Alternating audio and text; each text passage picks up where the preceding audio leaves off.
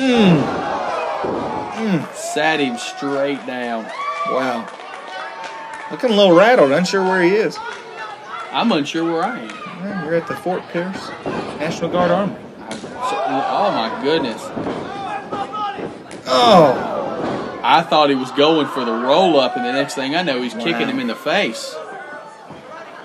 Rush is serious business now, just taking off the sleeves there. Oh, yeah. Rush didn't travel all the way down here from D.C. to, to take a loss. I guarantee you that. No, he didn't. Now look at him, he's, he's heading up top.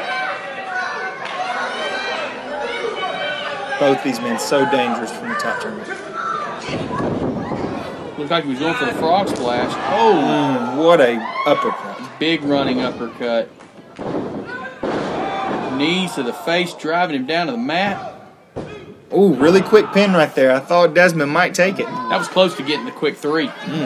Heads up move by Dezmond, but even headsier move from Lio kicking out. I'm not sure if that's a word or not, but we'll let it pass. Right You said chicks earlier. I have to run both those by Ken Artlett. Artlett, one of only four female promoters in the U.S. How many?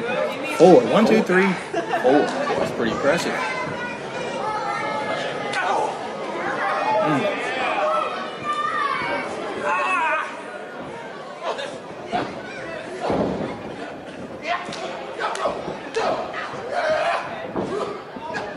Oh my goodness.